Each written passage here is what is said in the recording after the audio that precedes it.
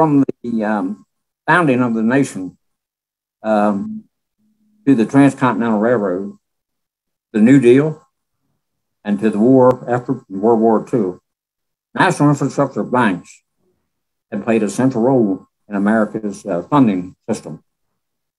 Uh, what we need to do, and what this bank will do, it'll remove from um, this funding system from the politics and separate it from the federal budget and be grounded in restoring and the country to greatness again.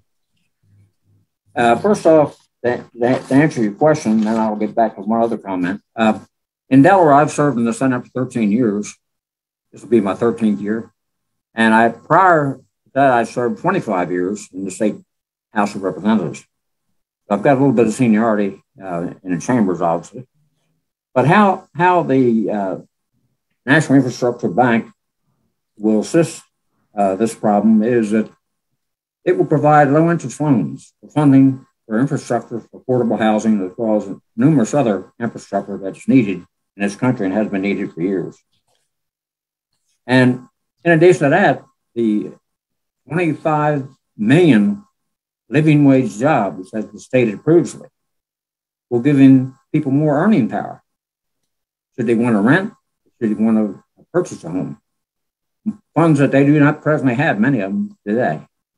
We have a number of people in our state living in manufactured homes, which is supposed to be affordable housing. But of course, it's on leased land, and that creates a problem. Uh, sometimes it's not as affordable as people think. But we spent millions of dollars every year in our bond bill to increase housing for Delawareans. And then these millions of dollars are matched by the federal government, but it's still far too short what's needed.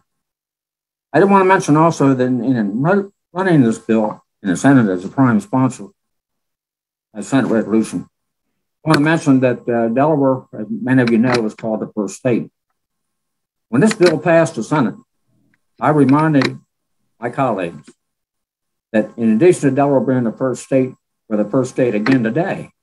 And what I meant by that was we passed this bill at 3.59 in the afternoon on January the 27th this year.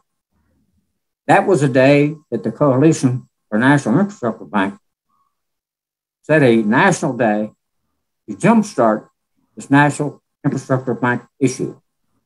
We were the first state that day, the 27th, to pass this resolution.